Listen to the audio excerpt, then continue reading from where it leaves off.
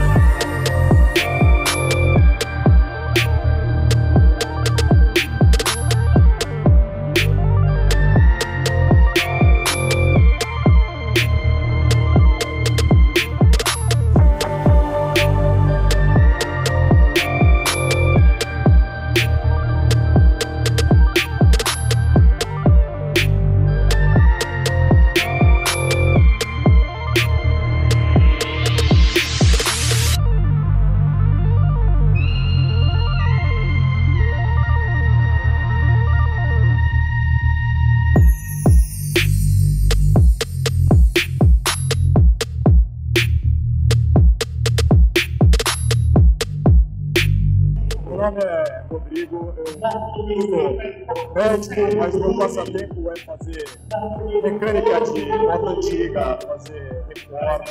E aí eu, hoje eu estou aqui para participar de uma corrida de flat track, que é uma pista local de terra, na categoria de motos antigas. Então eu trouxe comigo uma Harley, uma WL, que é uma 750 cilindradas, 1947. Essa moto, ela é uma moto de rua, mas que eu modifiquei exatamente como eram as motos de corrida da década de 40, que era o modelo WL. Então ela tem todos os opcionais de corrida de época, sem absolutamente nenhuma melhoria mecânica.